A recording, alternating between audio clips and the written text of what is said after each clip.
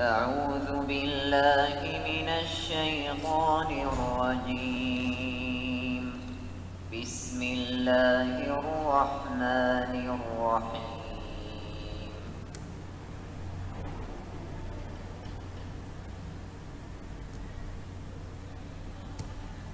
In this video, I, I will talk about how you can maintain good oral health by following these simple by following simple instructions. The cost associated with preventive treatment is less as compared to the reparative treatment. Therefore, this video covers this aspect. This video will help you how you how can an individual maintain and improve the oral health effectively. The initial toothbrushes are the chewing sticks or the miswak. This is how a miswak looks like. The modern toothbrushes are introduced at the end of the 15th century by the Chinese. This is how nowadays a modern toothbrush looks like.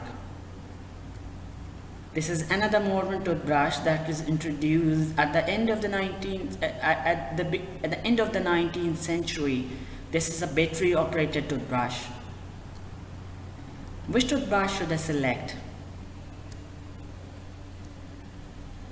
The toothbrush should must have a small head.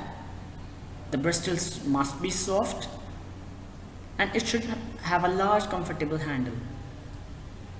How frequently brushing should be done?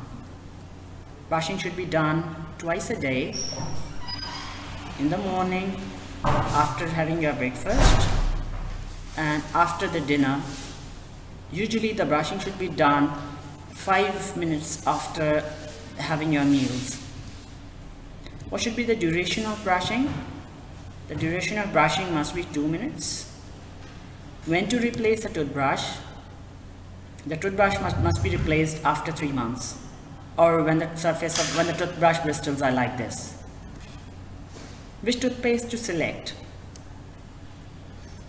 The toothpaste must be one with fluoride. The ingredients must be mentioned on the back or it must be non-medicated. The amount of toothpaste on the brush. So for the children a smear layer should be used and for the adults a pea size must be used. So we would like to acknowledge uh, Dr. Muhammad Idris and Mr. Imran Sadiq from Department of E-Learning, Jinnah Sindh Medical University. Thank you for watching.